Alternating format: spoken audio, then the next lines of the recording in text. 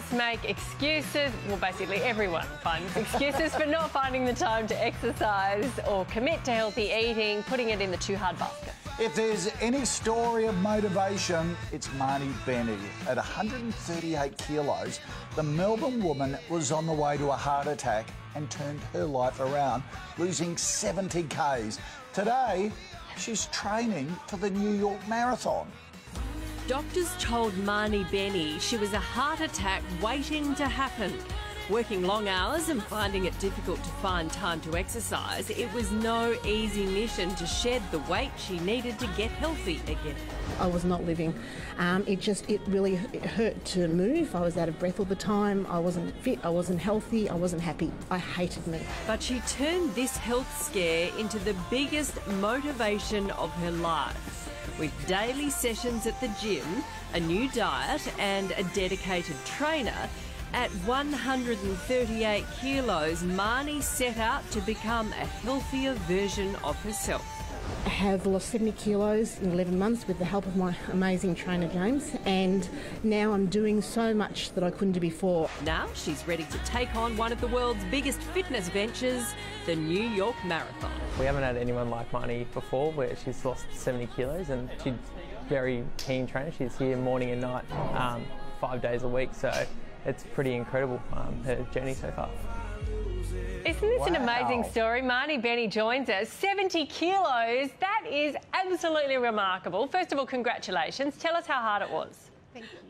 It was really hard. It was really, really hard to start. It was really scary. Um, the slap in the face was being told that I was borderline diabetic and potentially would have to inject myself every day. That was that was enough for me to to find something to do to help me. Okay, I certainly couldn't have done it myself though.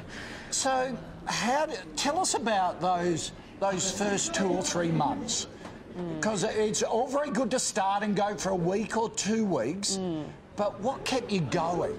The discipline. Um, look, I think the fact that um, I decided to join Vision Personal Training, and one of the things that they do in the first four weeks is they actually set you up. You do a goal session once a week.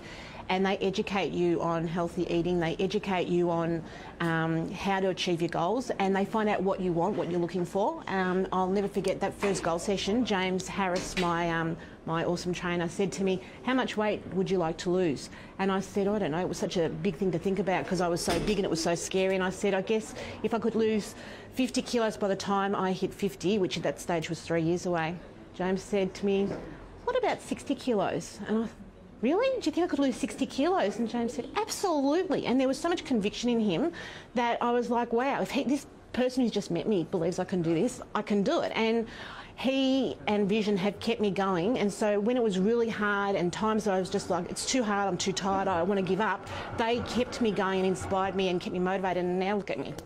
Marnie, I know what a lot of people at home are going to be saying watching this. They're going to be saying it's okay if you can afford to have a personal trainer at a gym. I can't afford to do this. Yep, um, absolutely. Some people will definitely be saying that, and um, I've got two responses to that. One is that um, we make sacrifices in our life so that we can come here because this is what works for us, and I wouldn't be anywhere else. The other thing I'd say is that it's not about necessarily finding a personal trainer or finding um, of something in the fitness industry, you can do this yourself at home. It's about building a circle of support. It's about wanting to make a change. It's about educating yourself and reaching out to anyone who can help you, making healthy food choices and moving.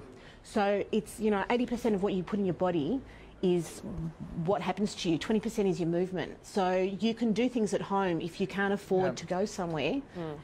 Anyone can Yeah. do it. Good answer. It's all about Yeah. priorities and prioritising your spending and stuff like that. You give up something because you're passionate Yeah. about it, Marnie. You're an inspiration. Nice Yeah. to meet you. Good luck in the New York Marathon. Yep, well done. And there's a lot online you can just do for free, so Yeah. that's a good point. Thank you, Yeah. Marnie.